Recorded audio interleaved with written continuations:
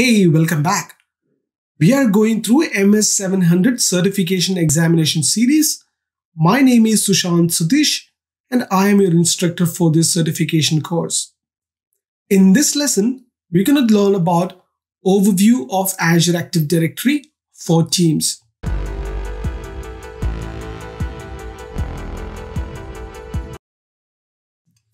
Azure Active Directory is the cloud-based identity and access management service for your Office 365. As such, it's a vital part of Microsoft Teams because Teams leverages identities stored in Azure AD for collaboration and communication.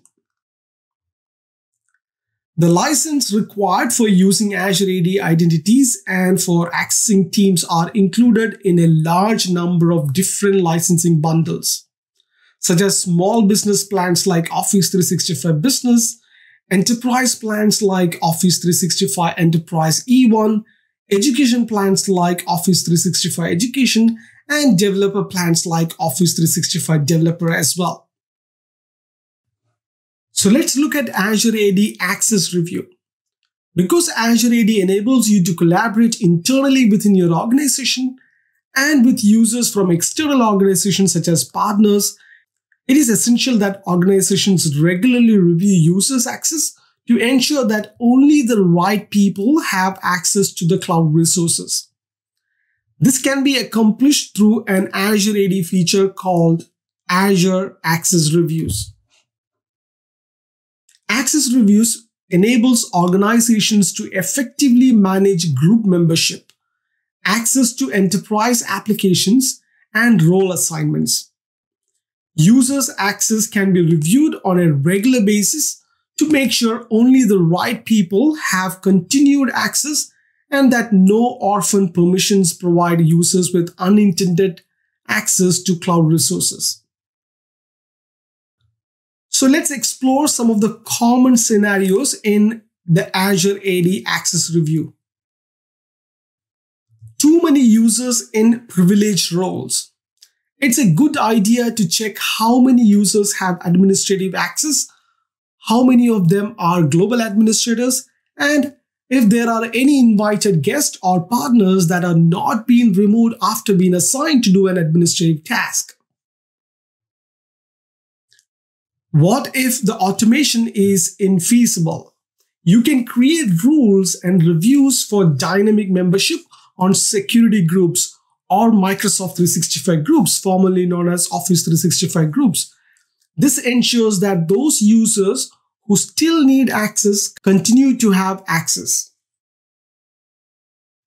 If you have a group that is going to be synced to Azure AD, or if you plan to enable an application for everyone in a specific group, it would be useful to ask the group owner to review the group membership prior to the group being used in a different risk content.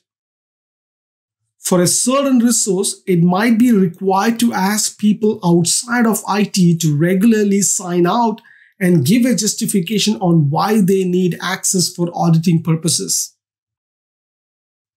So why do you maintain a policy exception list? In an ideal world, all users would follow the access policies to secure access to your organization's resources. However, sometimes there are business cases that require you to make exceptions. Employees' access might be automated without some on-prem identity access management tool, but not invited guests if a group gives guest access to business sensitive content, then it's the group owner's responsibility to confirm that the guests still have a legitimate business need for access. Have reviews recur periodically. You can set up recurring access reviews of users at a set frequency such as weekly, monthly, quarterly, or annually. And the reviewers will be notified at start of each review. Reviewers can approve or deny access with a friendly interface and with the help of smart recommendations as well. Please note, using the Azure AD Access Reviews feature require an Azure AD Premium P2 license. Let's look at conditional access.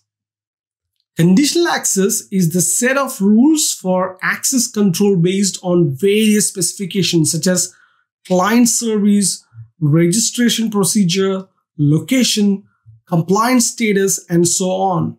This is used to decide whether the user's access to the company data is possible.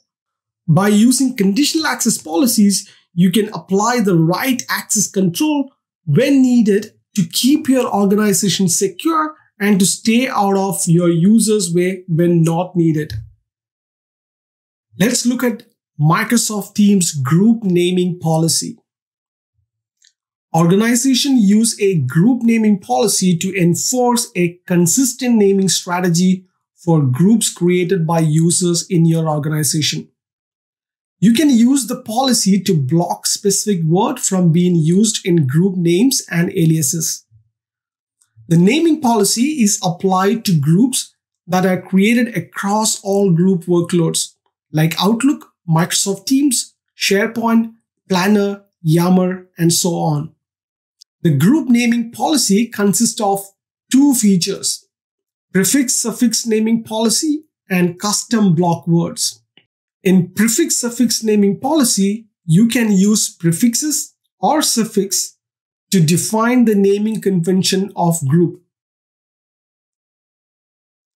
The prefixes, suffixes can either be fixed string like department or user attributes that will get substituted based on users who is creating the group. In custom block words, you can upload a set of block words specific to your organization that will be blocked in the group name that are created by users. For example, salary statement, human resources, etc. And finally, let's look at guest access. Guest access allows teams in your organization to collaborate with people outside of your organization by granting them access to existing teams and channels on one or more of your tenants. Anyone with a business or consumer email account such as Outlook, Gmail, or others can participate as a guest in Teams with full access to your Teams chats, meetings, and files. Guest access is an org-wide settings in your Teams and is turned off by default. Guest access is subject to Azure AD and Office 365 service limits. Don't worry, I have a demonstration prepared later, which I will take you through the demonstration on how to set that org-wide settings.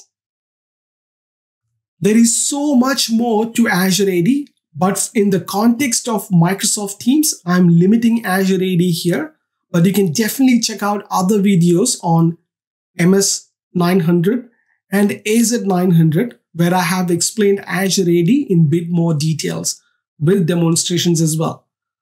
So now that we have learned about overview of Azure AD, in the next video, we're going to talk about overview of Microsoft 365 groups. So I will see you on the next one. Till then, take care.